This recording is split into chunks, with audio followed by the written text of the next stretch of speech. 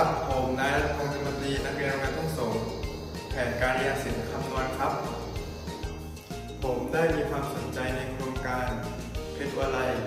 ในคณะครุศาสตร์สาขาวิชาสังคมศึกษา ซึ่งตัวกระผมได้ทราบว่าเป็นโครงการแรกของมหาวิทยาลัยวลัยรัตน์ในคณะคารุศาสตร์เพื่อจะผลิตคุณครูที่มีคุณภาพ ผมมีความสนใจในสายอาชีพครู เพราะคุณพ่อของผมก็เป็นคุณครูเหมือนกัน พ่อของผมบอกเสมอว่า การเป็นครูต้องเป็นครูมืออาชีพ ไม่ใช่แค่อาชีพครู ซึ่งตัวกระผมคิดว่าทางโครงการและมหาวิทยาลัยจะสร้างตัวผมให้เป็นครูมืออาชีพได้อย่างตัวที่กระผมหวังครับ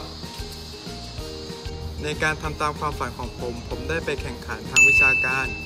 ศิลปะหัตถกรรม การตอบปัญหา ด้านภูมิศาสตร์ และได้รับรางวัลชนะเลิศ ในจังหวัดนครศรีธรรมราช ในปีพศ 2565 ครับ ว้าว